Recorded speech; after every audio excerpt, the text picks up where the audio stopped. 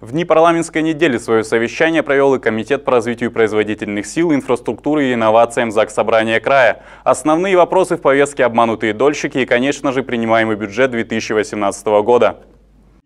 Депутаты заслушали основные параметры бюджета на 2018 и плановый период 2019-2020 годов. Доходы края возрастут более чем на 4 миллиарда рублей, в основном за счет налоговых и неналоговых поступлений, и составит 48 миллиардов 300 миллионов рублей. Расходы 49,6 миллиардов рублей. Парламентариев интересовало, как в следующем году будет решаться вопрос с кредиторской задолженностью. Она, напомню, сегодня составляет около 4 миллиардов рублей. По словам замминистра финансов Веры Антроповой, погашение этой задолженности первоочередно очередная задача на 2018 год. Еще одна тема повестки – обманутые дольщики. Таких в Забайкале на сегодня 174 человека. Сегодня по тем объектам, которые уже признаны давно проблемными, еще с 2011 года, граждане еще поступают.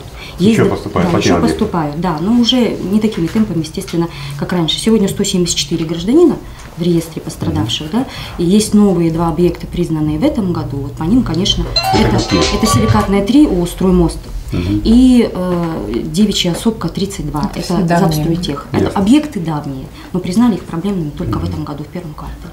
Граждане по ним еще включаются в реестр.